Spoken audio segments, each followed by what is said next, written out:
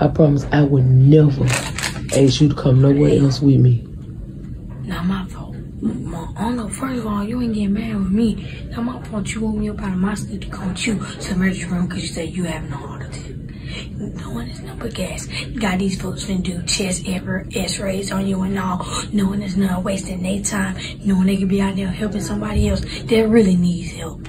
Now my fault you ate too many hamburgers. You don't want to tell them that, do you?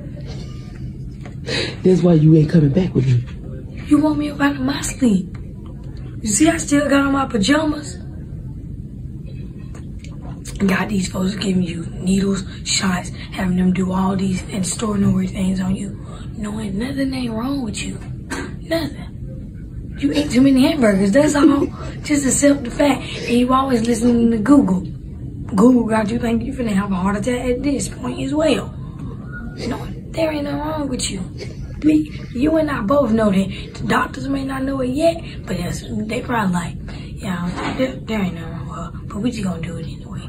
It's our job.